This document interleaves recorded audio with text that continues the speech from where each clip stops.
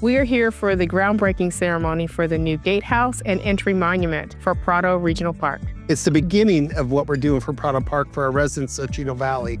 The gatehouse is extremely important because we get to have extra people in queue, get people from backing up Euclid Avenue, have new modern facilities. The project consists of three major scopes of work a 570 square foot replacement of the existing gatehouse, a 22 foot tall by 22 foot wide entry monument, as well as a 31 foot by 66 foot wide entryway. This project will allow uh, improved customer service, allow easier flow.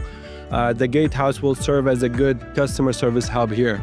By widening the entry and exit area, it'll help get people further into the park faster while not bogging up traffic on Euclid Avenue. In addition, putting a new entry monument closer to the road will help people see that this is the entry to Prado Regional Park. This is one of uh, many investments that shows the commitment of uh, the Board of Supervisors to make this park as a destination for our residents and our visitors alike. This is a series of investments the county board has made and a lot more is to come. So I'm very excited about this park and for our residents to have a place close to home to enjoy.